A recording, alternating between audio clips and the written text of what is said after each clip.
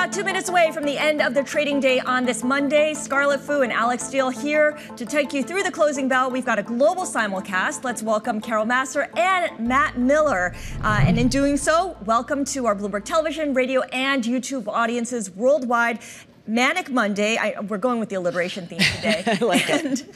But it feels like it could have been a lot worse, and we've been spared the worst uh, given that ISM report at 10 a.m. I got to say, Matt and I have been having a lot of conversations. Like for all of us, right, who have lived and reported during the great financial crisis, during COVID, the meltdown, um, and the shutting of the economy, this even though it felt maybe a little uncomfortable uh, at the get go, at the beginning, I feel like it's been a lot more orderly. And we've even seen that we're off our worst levels of the day, Matt. Yeah, absolutely. I mean, overnight, when I saw um, the Nikkei open down more than 10%, I started to get really worried. And this morning was rough because futures were worse than they were on Friday. And then we opened down more than 4% on the S&P, down more than 5% on, on the NASDAQ. But you're right, Scarlet. When we got that ISM number, uh, it kind of equalized things and we felt a little bit better. Even though the numbers are still bad, they're not nearly as bad as they were. Yes, but, or yes, and, I think I have to say, yes, and. Uh, I, have been harping on this all day. The systemic funds, right? Like if you have a if you have a volatility shock and a VaR shock, eventually they're going to have to keep selling. And so I'm really skeptical that the selling is actually done yet. And that momentum takes on momentum of its own. So it may just be a pause before something, the next wave of selling comes along. But for now, uh, we can say, we can call it a day here for Monday. Yep, we got the bells. There you have it. Volume is really high here. We're just settling out, but the S&P uh, looks to be closing down around 3%. The NASDAQ off by about 3.4%. The Dow Jones Industrial Average off by about 2.6%. Again, uh, volume pretty strong on this Monday, Carol. All right, uh, and looking at the S&P 500, folks, we've talked about it, right? Uh, pretty broad-based selling. 482 names in the S&P 500. Lower today, Scarlet, 21 to the upside. Yeah, let's take a look at the IMAP, which uh, should be pretty red across the board here because if you slice the S&P 500 into 11 sector groups or 24 sector groups, everything is down. In fact, by 24 groups, yeah, the, the best performing group pie. is mm-hmm. household and personal products down 1.4%. So yeah, all red, only a tomato pie there today. I love that. All right, so it made it really tough to find some gainers, but I did find a few. Uh, Kellanova up about 16%, just off its highs of the day. Top number one gainer in the S&P 500, up the most since October of 87. Um, this, as Mars considers buying the snack maker and what could be one of the biggest deals this year. Deal talks are said to be ongoing. No final decisions have been made, according to those familiar. Uh, a deal could value Kellanova at around $30 billion. That's coming from the Wall Street Journal a little bit earlier today. On semiconductor, again, another one, uh, an outperformer, up almost 6% at its highs today, finishing the day up 1.5%. This was among the top gainers in both the S&P 500 and the NASDAQ 100. I don't know why, to be quite honest. Uh, there was some news Friday after the close of market selling, or insider selling, which would make me think it would be down, but it's not. We did see the SOX briefly turn positive in today's session, uh, so it could be that there was just some momentum, some buying, and pushing some of these names higher. And uh, Advanced Micro also higher, another of the semi names, uh, up about uh, almost 2% in today's trade, Alix. Yeah, we still have some earnings that are coming out. I mentioned CSX. Uh, the earnings as came in right in line, a little bit better actually at 49 cents a share. The estimates were for 48. Revenue bang in line with estimates, 3.7 uh, billion. I was just kind of strolling through the press release here uh, in terms of the performance to see kind of what was growing, where the risks were. Um, I, it doesn't seem to have that kind of color yet, but we'll definitely uh, keep looking on that in terms of their outlook. I know that their operating income looked to decrease about 1% versus the same period last year, um, but nonetheless, uh, so relatively solid results from CSX. Okay, we also have earnings out of Avis and, of course, the car rental company. This is a stock that's really declined a lot this year, down about 52%. Second quarter revenue missing the average analyst estimate, 3.05 billion. Analysts were looking for 3.14 billion dollars. International revenue also lighter than anticipated. America's revenue lighter than anticipated. There's a theme here, obviously. And adjusted EBITDA down 71% year over year, uh, 214 million dollars. Analysts were looking for 254 0.7 million.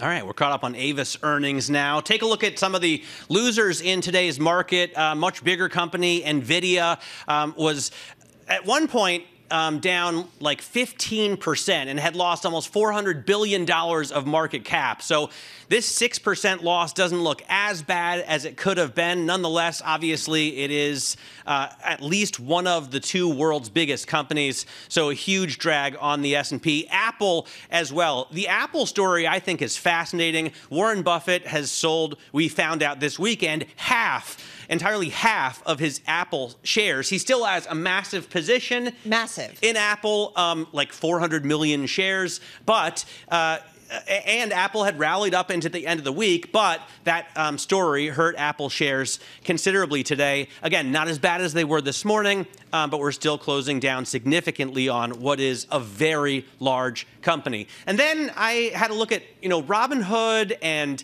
Bitcoin and Coinbase were all down because of the underlying asset. I'm guessing you can trade Bitcoin and Robinhood. It hurt um, that platform. You obviously trade Bitcoin on Coinbase, and it hurt that platform, bigger uh, stock as well. But in general, Bitcoin has been a risk indicator. So with this huge risk off mm-hmm. um, feeling pervasive in the market, Bitcoin at one point was down like 16%. I think it's down right now about 9 or 10%. 9%, yeah. And that is hurting uh, anyone who's related to it. Um, MicroStrategy also a big loser in the market today. All right, I'm taking a look at the bond market. It looks super boring right this second, but man, was that a day uh, for a bond trader. What a turnaround. So, I mean, really, at one point you had the two-year yield down 20 basis points, and now it's up by one basis point. At one point, you had the curve disinverting and holding around two basis points, and then all of a sudden now we keep uh, inverting. I mean, that is a tremendous move in the bond market. We get supply later on this week for sure, but nonetheless, I mean, I don't know what to make of that price action. 10 a.m. ISM services coming in better than expected. Everything is above 50, which signals growth. Not tremendous growth,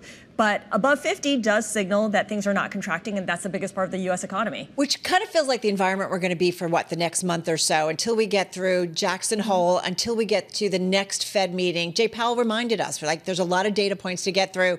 So you do wonder about how that kind of shapes the trade and whether or not we continue to see more uh, momentum, at least on the yield curve, to the downside. All right, let's get some uh, numbers here on Palantir because that is also coming out uh, with earnings. So ju- just the big headline here on a full year adjusted operating income basis, uh, they're looking at anywhere between 966 million to 974 million. They were at some point looking for about 882.9 uh. So they're raising their full year adjusted operating uh, income. Remember, this company has kind of two businesses really. It's a government government revenue based uh, uh, contracts, and mm-hmm. also they're trying to ramp up their commercial business as well with their artificial intelligence platform. So this to be feels like a, okay, AI, I can make money from it. Well, plus if they get um, JD Vance into the White House, what an amazing coup this would be for Peter Thiel. I mean, the stock's already up 40%, but imagine the government contracts they could be awarded after that. Yeah, well, the fund, the company was co-founded by Peter, Peter Thiel